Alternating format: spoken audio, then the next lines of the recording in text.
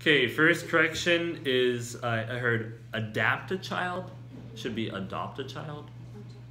Adopt a Yeah. child. Yeah, I heard adapt, but it should be A D O P T.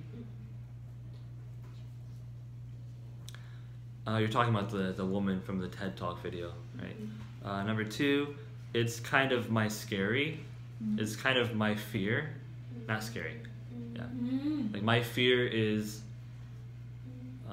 speaking in public, right? But for scary, we'd say I'm scared of speaking in public.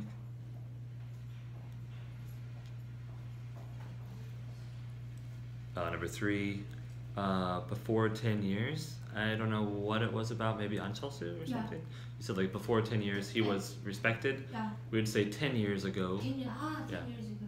10 years ago.